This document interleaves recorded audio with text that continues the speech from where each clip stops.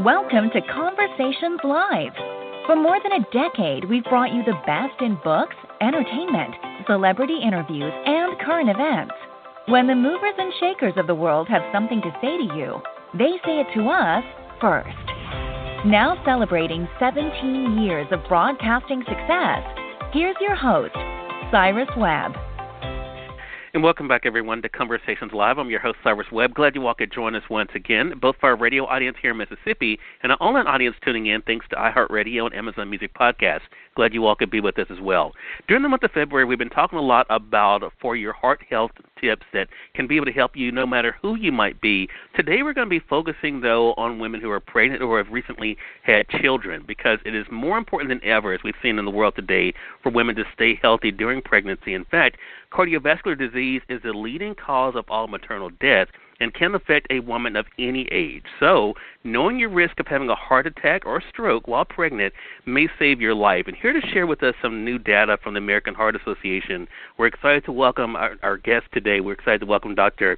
Laxmi Mehta. Also, we have to share a bit of her story as well, Leah Riegert. They're going to talk to us not only about what you need to know about your heart health, but also especially women uh, who are dealing with pregnancy or recently become pregnant. Thanks to the two of you for being on with us. Really appreciate it. Thanks for having us.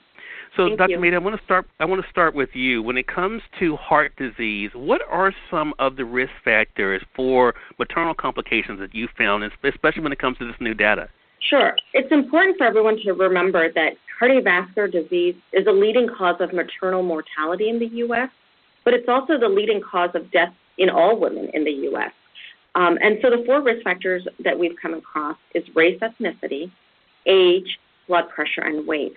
And when we talk about race and ethnicity, we're talking about black women, American Indian uh, women, and Alaskan uh, Native women who are two to three times more likely to die from pregnancy related complications compared to white women. And then when we talk about age, that's women over the age of 35 who have 1.2 times a higher risk of developing preeclampsia or high blood pressure issues during pregnancy sometimes this can be life threatening. And, you know, many women in the U.S. are getting pregnant at a later age. And, and there's data that shows women aged 40 or over are 30 times more at risk of um, getting heart disease related to uh, maternal death compared to those that are less than 20 years of age. Blood pressure is a, is a third issue, and a pregnant woman who experiences gestational hypertension, so that's high blood pressure with um, after 20 weeks of pregnancy, are at greater risk of developing coronary artery disease, heart failure, stroke, type 2 diabetes later in life.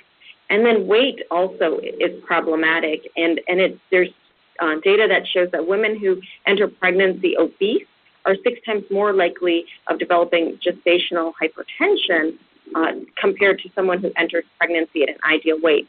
So you can see these four risk factors affect not only time during pregnancy, but their lifetime risk of cardiovascular disease. Wow. Leah, I want to bring you into the conversation. I had a chance to watch a bit of your story on the official Go Red for Women uh, YouTube channel. Definitely invite our audience to watch that.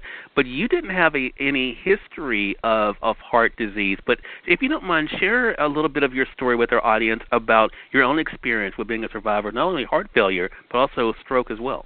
Absolutely six days after I gave birth to my daughter, um, I noticed that it was becoming increasingly difficult to breathe when I was trying to, to lay down to go to sleep, and my heart was racing. So we eventually went went to the emergency room where I was quickly diagnosed with peripartum cardiomyopathy, which is um, postpartum heart failure.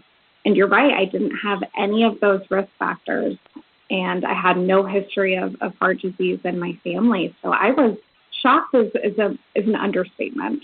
Unfortunately, you know, a day after I was discharged from the hospital, I had a massive stroke. My husband noticed that the right side of my face was drooping. I was air cared to a hospital where um, a neurosurgeon plucked the clot from my brain. So recovery was was difficult. Um, I had a lot of right-sided weakness. Um, my ability to speech was, to speak was impacted but with help from my family, physical therapy, you know, my doctors, medication, my heart's actually holding steady at a low normal functioning at this point. And as far as as for yourself, Leah, what is it that you're finding helps you to manage uh, your heart disease today and to make sure that you're staying healthy? my support system is a huge one. You know, not taking on too much like a lot of moms tend to do. I take my blood pressure every day. I am very adamant about taking my medications on time and living a healthy lifestyle. I was a runner before I had heart disease, and now I am I am back to, to physical activity and eating healthy.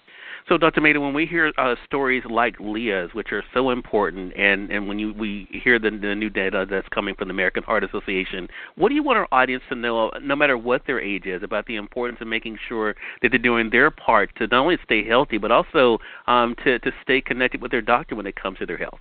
Yeah, that's, that's a great question. I, I think you know everyone needs to remember anyone can get heart disease. There are certain risk factors that increase their risk, and then they need to think of heart heart disease and prevention as a lifetime thing from childhood to, to all the way through adulthood of doing the preventative measures. Um, those are essential steps that they need to do. Um, you know, eating healthy, exercising, you know, watching your stress management, sleep, like Leah had mentioned, and, and then having that close connection with your uh, physician is important to understand what your blood pressures, your weight is, if you're at risk of uh, diabetes. You know, the, the new data that came out uh, showed that hypertensive disorders in pregnancy are increasing higher than chronic hypertension. But also, wow. what's alarming is, is you know, if that doesn't bother you, it's the fact that these um, the these women uh, that are having problems are having children at preterm birth and low birth weights of uh, uh, babies, which is more often in black women. So that not only affects the baby, but it also affects the mother's risk lifetime. So I think it's important to remember heart disease is the number one killer of women during pregnancy as well as later in life, and to take the necessary preventative steps such great information. Again, everyone, Dr. Laxmi Mehta has been our guest, as well as Leah Riegert sharing a bit of her story. Dr. Mehta, if you don't mind, let our audience know where can they go to be able to find out more information. Yes, so for more information on women's heart health, please visit goredforwomen.org. All right. Well, thanks to the two of you for the time. I really do appreciate it, and looking forward to having the two of you back on the program again. Thank you very much. Thank you. Hey. You're more than welcome. And we thank your audience for tuning in to another great segment of Conversations Live. Uh, this is a, a, great segment for your health, but also for you guys to be able to share with your, your own family members and friends as well. Because as you heard our guest say today, this is something that affects so many people, and this is something that we should not look at a certain age group. That we now know, especially because of Leah's story, that all of us can be impacted, and especially the women uh, who are pregnant or have recently uh, you know, given birth to make sure that they're taking care of their heart health. So make sure you guys do share this information with others. Until next time, I'm your host, Cyrus Webb, as always, enjoy your day, enjoy your life, enjoy your world. Thank you all for choosing Conversations Live. Now let's go make today amazing. Take care.